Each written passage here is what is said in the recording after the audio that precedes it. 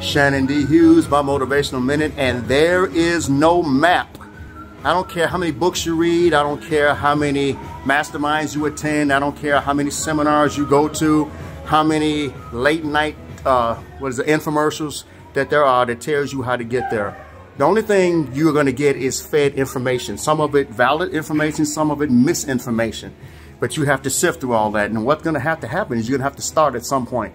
There's no map to tell you how to get to the destination that you're trying to get to.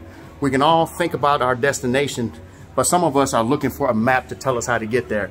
If you keep looking for a map, you're going to get left. And at some point, whether you have a map or not, you have to start. When you travel, you are mapping out your course. And what people like to do is share their journeys with others.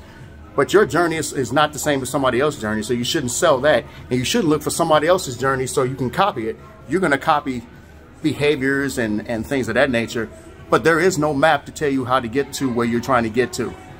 Stop looking for a map, just stop. Just start. There is no map. Just start.